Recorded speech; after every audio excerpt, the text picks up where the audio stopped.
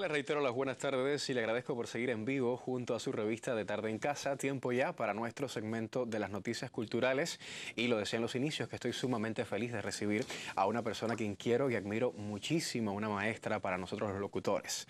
Presentadora de radio y televisión, me acompaña hoy Rosalía Arnaez. Bienvenida Rosa. Qué gracias. Muchísimas gracias Leiber y gracias al equipo, al colectivo de este programa tan visto en todo el país por invitarme. Así es, Rosa. Me gustaría hablar sobre el trabajo que vienes realizando por estos tiempos en radio y televisión, los programas que tienes ahora mismo en parrilla, pero antes de eso sé que hay un espacio, un momento muy especial eh, que está relacionado con el Festival Boleros de Oro que ya culminó, pero bueno, sé que es como una extensión o algo así. Tú podrás explicarme mejor eso. Sí, sí, sí. Mira, hoy comenzó en el patio de la IGREN, le llaman el Salón Gelengue del Patio Areito, pero bueno, es en los estudios, en los estudios de la IGREN de San Miguel, pues él comenzó eh, al mediodía el segundo encuentro internacional de coleccionistas y melómanos. Y ha sido maravilloso, ¿por qué? Porque han llegado de varias partes del mundo amantes de la música cubana entonces participaron algunos de ellos en el Festival Boleros de Oro y han continuado su estancia en La Habana para participar en este espacio que dirige el productor Jorge Rodríguez y que una vez al mes reúne a amantes de la música para hablar, por ejemplo, un día sobre la discografía de Elena Burke por un aniversario de su natalicio o para hablar de la Orquesta Aragón. Y entonces llegan los coleccionistas con los discos de plata o vinilo, como le quieran llamar, eh, que se han editado en Cuba y en otras partes también. Auténticas joyas. Sobre, claro, eso es patrimonio de, nuestro, de nuestra cultura y de nuestra música. Y han llegado, y a mí me ha sorprendido tanto porque tenemos coleccionistas de Cali, de Medellín, de Pereira, sobre todo colombianos.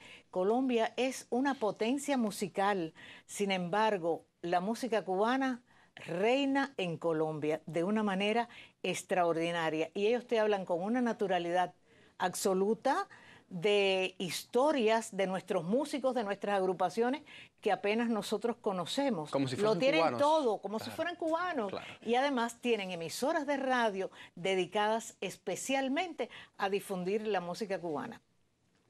En el programa que yo conduzco junto a Ángel Manuel en la COCO, Antena Musical, de 9 a 12 del día los domingos, pues tuvimos la visita de varios coleccionistas.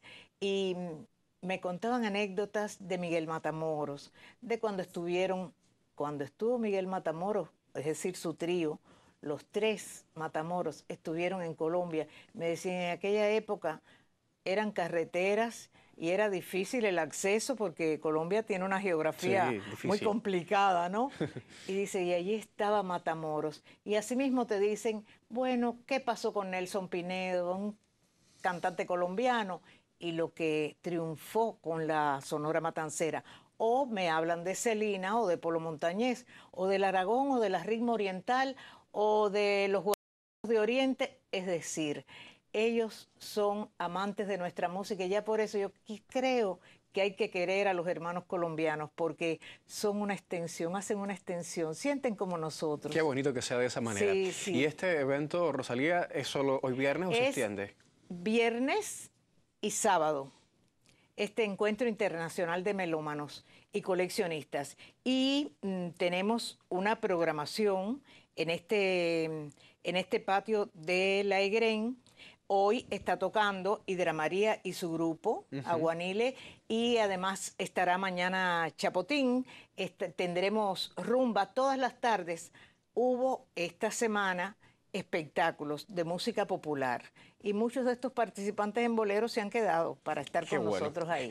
Qué bueno que haya sido de esa manera. Pero bueno, estaba hablando, estaba escuchando al maestro Gosley, a quien me unen también lazos de mucho afecto, porque durante la época en que él fue director artístico del Gato Tuerto, me invitó junto con otros grandes compañeros a ser presentadora del Gato. Y estuve más de una década allí y pude realizar el sueño de presentar en un club, en un café concert, un club nocturno, a las grandes divas y divos de nuestro país. Y se lo agradezco a Hugo, pero hablaban de música mexicana y Leiber, yo quisiera hacer una mención y darle promoción a un programa que durante más de, bueno, desde el año 62 hasta ahora, ¿más de cuántos años? Más de 40, 50 Más de 40 años, más de... 60 años. 60 años, ya, claro, más de 60 años ha estado en el aire en esa emisora que fundó Luis Casas Romero, pero que después adquirió el gran maestro periodista Guido García Inclán, la COCOCMSK, que mantiene su espacio de melodías mexicanas, que dirigió mucho tiempo Manuel Romero, lo mantiene a las 12 y 30 del día hasta la 1 de la tarde. Y a esa hora no hay pelota, no hay interrupción, porque también tenemos otro programa de tango que sí tiene interrupciones por Muy la popular, transmisión por de la cierto, pelota. ese espacio. Pero Melodías Mexicanas se escucha en Cuba entera y en otros países, porque la Coco transmite por internet. Así es, hablando de espacios, Rosalía, yo decía de que, bueno, por estos días tienes varios espacios, tanto en radio como en televisión. ¿Dónde te podemos ver y escuchar? Sí, en televisión, a partir de la primera semana de julio, voy a estar, gracias a nuestro director Arnaldo Díaz, a Arada, a Graciela, a todo el equipo, eh, presentando un espacio que ya ha tenido varias ediciones con mi colega y querido Marino Luzardo. Y ahora, bueno, pues yo voy a ser la presentadora de esta temporada de Clave del Éxito con algunos de nuestros jóvenes artistas, algunos incluso que ya desgraciadamente no estarán entre nosotros. Por ejemplo, el gran cantautor Pedro Romero, recientemente desaparecido, pero vamos a saber sobre su obra y su vida y además otros artistas jóvenes como Verónica, por ejemplo, Verónica Velázquez, también estará nuestra admirada María de Jesús, Narciso López, algunos de los ganadores de aquel recordado Todo el Mundo Canta. Es decir, es un esfuerzo para que no queden en el olvido artistas que están en activo y que tienen mucho que dar. Así que estoy muy contenta porque vamos a presentar Clave del Éxito todos los domingos por el canal Clave a las 6 de la tarde. Bueno, pues a sintonizar Canal Clave para disfrutar de Rosalía Arnaiz y sus invitados. Y en la radio en Antena Musical, ¿verdad? En la radio, los domingos de 9 a 12 en vivo, en Antena Musical y cada día a la 1 y 30 Hogar del Tango. Soy continuadora de María Luisa Madbet, de Antonio García, de otros que estuvieron antes,